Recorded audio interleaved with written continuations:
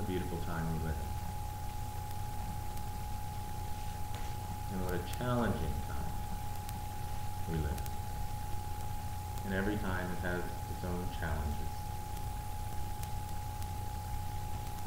But what's the difference between now and then?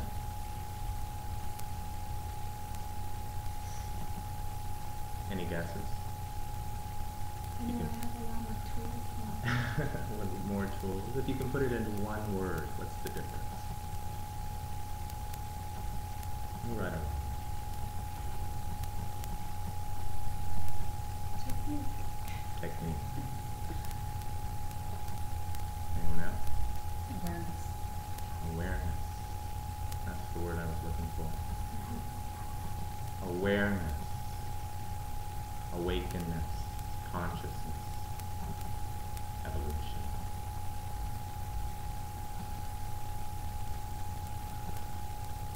And here we are.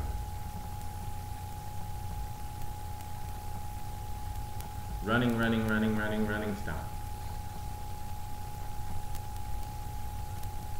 Fall down. Get back up. Run, run, run. Crawl. Scrape across the floor. Get back up.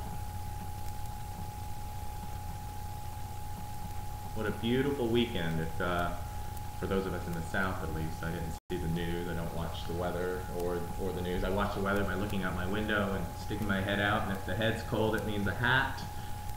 And if it's somewhat warm, then, you know, yesterday I didn't wear shorts, but I rolled my pants up. That felt good. It felt taste of spring here in the southern regions.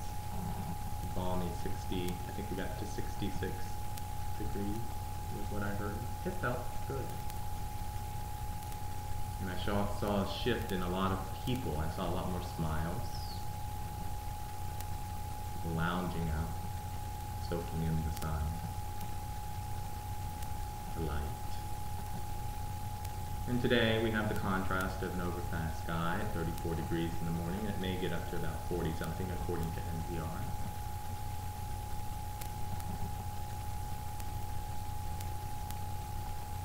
Ebb and flow. I was sitting at the bus stop yesterday on my way into town. And there was a group of people right behind me who were talking. A group of men, about three or four. Speaking about how much better their lives are today than they've ever been. And yet, also speaking to how challenging it currently is.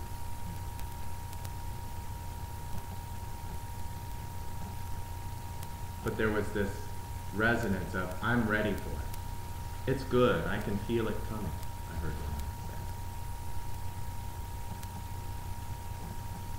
And I don't know what their awareness process is or what their spiritual consciousness might be in terms of practice. One man spoke of God and said, You just gotta trust. No matter what. I notice when I give up control and I give up what I think it's going to look like, you just gotta trust that it's all going to be all right. No, He must be at my, well, been at one of my Qigong classes. Or one of these workshops that I go to, because that's the exact same thing. You just gotta trust. But I think the difference is right now is what are we trusting? You know, we're certainly not trusting our government, mm-hmm. and yet we still have to have one in some form or fashion for right now. Anyway. We're certainly not trusting completely some of our religious factions, especially the ones that spew division and separation and even hate. Some of us are not trusting our partners, even maybe a few of our friends.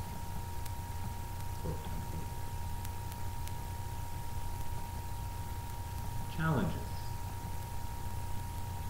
Beautiful challenges. So, who and what can we trust?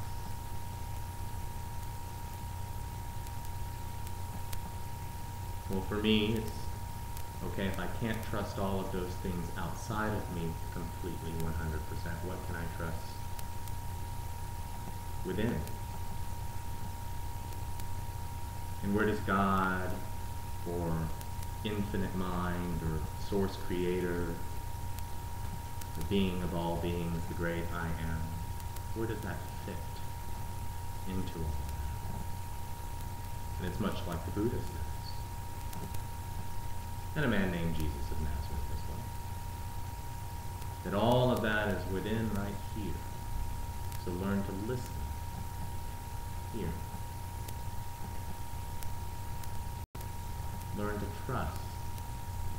And I've heard people, I've heard say, well, I can't trust my heart. It gets me in trouble every time. And I say, well, maybe it's because you don't know it very well.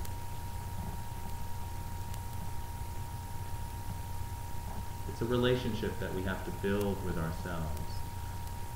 And sometimes what we think is our heart is really our mind pretending to be our heart.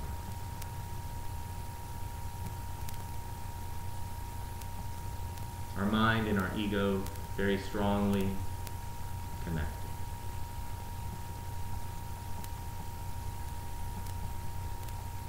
And I subscribe to a belief that it doesn't necessarily want to trip us up It doesn't necessarily want to create foibles and stop us in our tracks. But it's like a child. First free and eager to learn and accept, and through the life experience which we have, we recognize that the world isn't always a nice safe, or even friendly place. And so the mind, the ego takes that and goes, I have to protect myself from these things.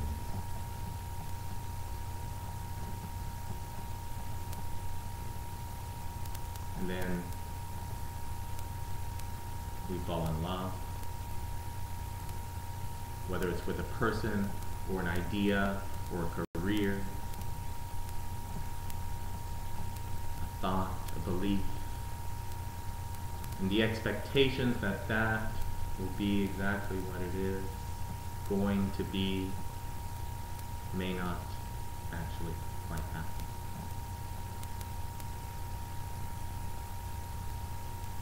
And fear sets in.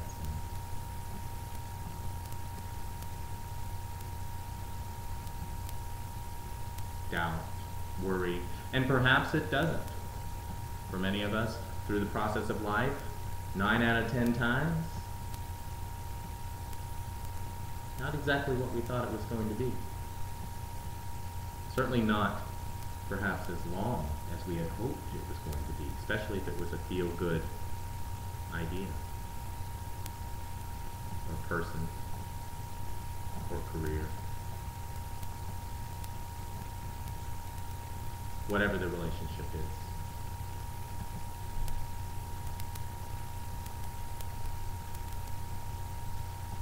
Run, run, run.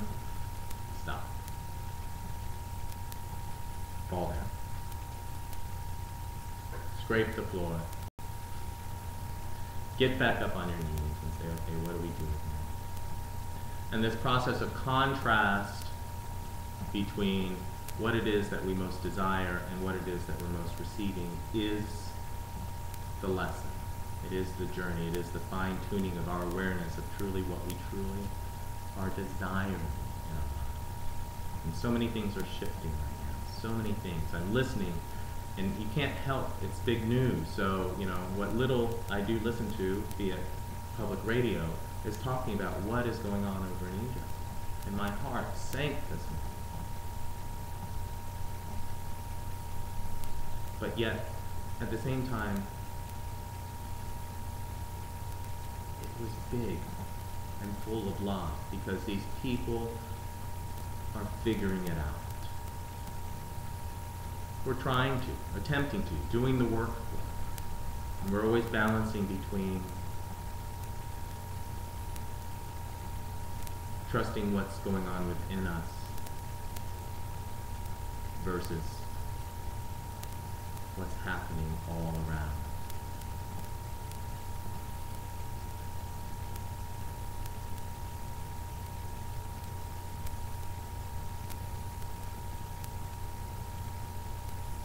I'm seeing the shifts happen beautifully. And if you pay attention and step back a little bit and see how you fit into the whole big puzzle, it's happening everywhere.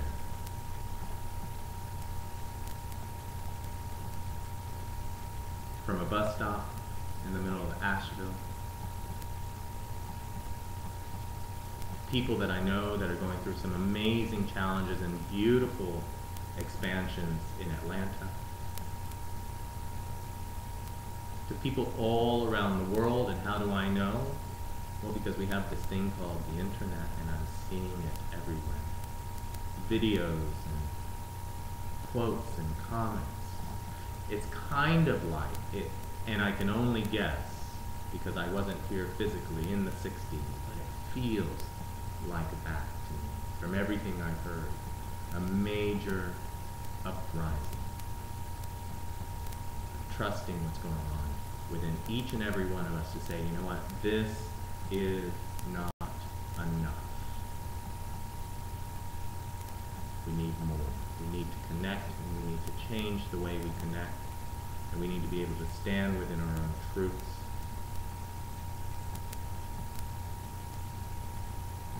But how do you know what your truth is? How do you know what the truth is? Which for me is very much the same. Because your truth is the truth for you. And you realize that when you run into the vibration of, of things moving in a positive, when the sun is out and shining, people around you will share that truth. and to hold on to that vibration when you fall down, when you get stopped in your tracks. When the universe says, hold on, slow down Take a deep breath and listen. Because the mind can get wrapped up in that process just as much. And the ego will grab on to something spiritual as well as it will non-spiritual. It really doesn't have a preference. It just wants to be a part of the process. And so we're all being challenged right now. Even those of us that are experiencing maybe a little bit more bliss than blase and not playing, playing the blame game. And we're listening closely to what's going on here. At least, I hope so. And there's part of me that knows.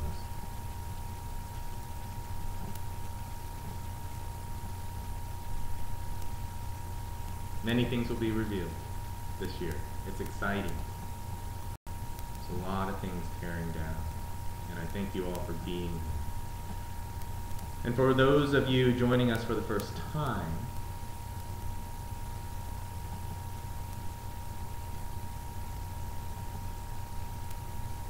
Qigong is just another practice of understanding the mind and the body and the spirit, the heart center of our experience. because we tend to feel things that we don't quite understand. And that's that difference between understanding what's going on energetically within us, the vibration, the whispering, the hearing of our higher selves, and what's going on with the physical, mental part of our experience, which is no less significant. Some would rather toss this out and live this all the time, and I say it's not really meant to be that way. Just no more than it's meant to live, toss this out and live straight from here. It is in the integration of it all. And this physical body of yours is the vessel which holds it. So thank you for being here on a Monday, starting off the week after a pretty interesting weekend. I to even open up that conversation, but if I asked you all what went on this weekend, I bet you can all share me a pretty intense story about something that happened. It just feels like that's been going on for the last week, actually. And tomorrow is February 1st. Crazy.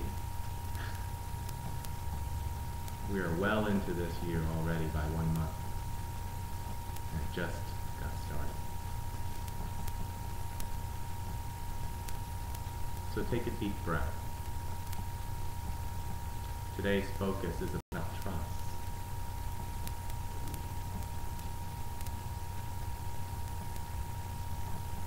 And we'll hold that intention as a group for this planet. We'll hold that intention for our brothers and sisters around the world who are struggling to understand and be in their contrast experiences. And we will hold the intention of trust that there is a great, great source creator who knows exactly what's going